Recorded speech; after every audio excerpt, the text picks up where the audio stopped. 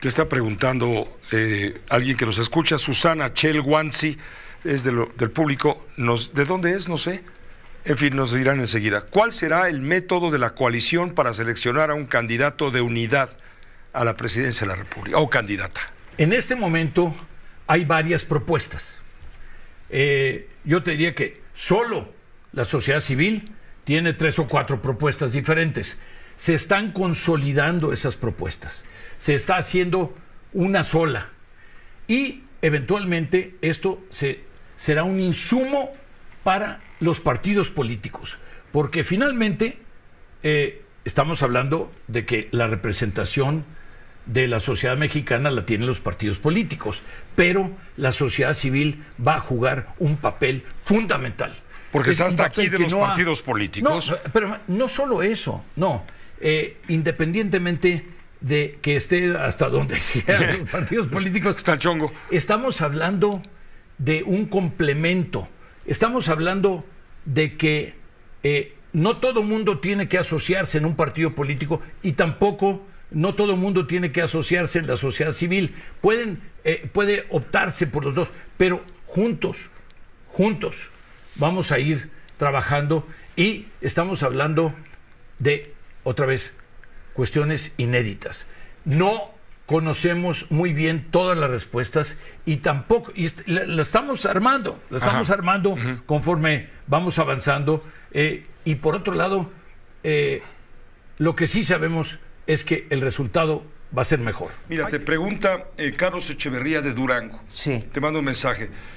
Con esto que acaba de ocurrir en la Corte, darle para atrás a las reformas que llevan a la Guardia Nacional hacia la- el dominio, el control, en fin, de la Secretaría de la Defensa Nacional, ¿pasará lo mismo con el Plan B de la Suprema Cor- eh, en la Suprema Corte? Mira, yo le ¿El Plan B diría... de la, de la reforma legal electoral? Sí, mm, es Carlos, ¿verdad? ¿Me dijiste? Sí, Carlos Echeverría, Eh, Echavarría. Yo, yo le diría a Carlos Echavarría eh, lo siguiente. Desde luego que es una esperanza, ¿sí?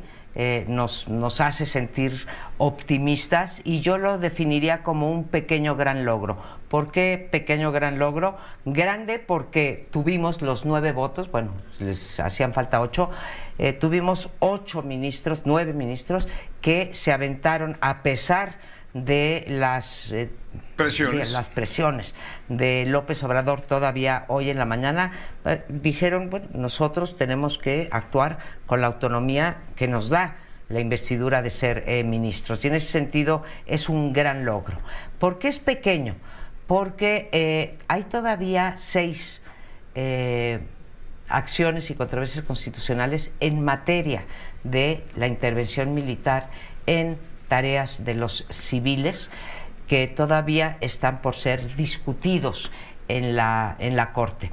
Entonces, concreto, pues sí, me da esperanza que pudiéramos conseguir los ocho votos también para el Plan B y que sobre todo la esperanza que tenemos con la Suprema Corte ahorita es que a diferencia del periodo en que la presidió Arturo Saldívar, están desempolvando las más de 50, Pepe, eh, el número, ¿eh? en materia eléctrica, en materia, en materia energética, en materia electoral, en materia de militarización. Eh, hay más de 50 acciones y controversias constitucionales que están metidas en la congeladora porque el ministro presidente, ex ministro presidente Saldívar, ministro expresidente Saldívar, eh, las metió en la congeladora seguramente en acuerdo con el presidente. Entonces lo que ha hecho Norma Piña es empezar a sacar ese rezago.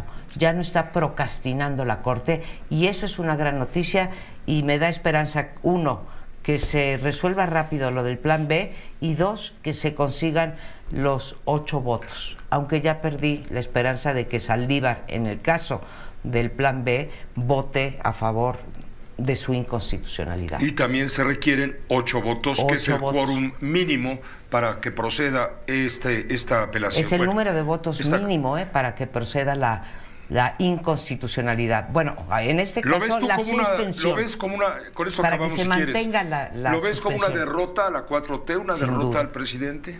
Sin duda, es una más de las que hemos tenido, ¿sí? Desde la marea rosa, por ejemplo, en materia electoral. Bueno, primero no pudo pasar su reforma constitucional electoral, eso fue una derrota.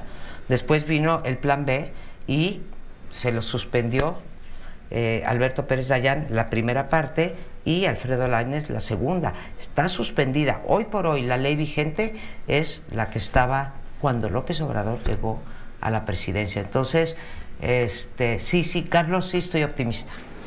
Eh, me pregunta Marcos Serrano en la Ciudad de México cómo veo las elecciones en el Estado de México y en Coahuila.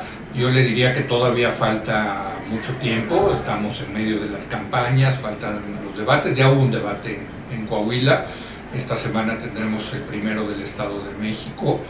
Eh, pero bueno, pues eh, lo que veo en las encuestas es pues una ventaja muy amplia eh, tanto de la candidata de Morena, Delfina Gómez en el Estado de México, como del candidato del PRI en Coahuila, de Coahuila Manolo Jiménez.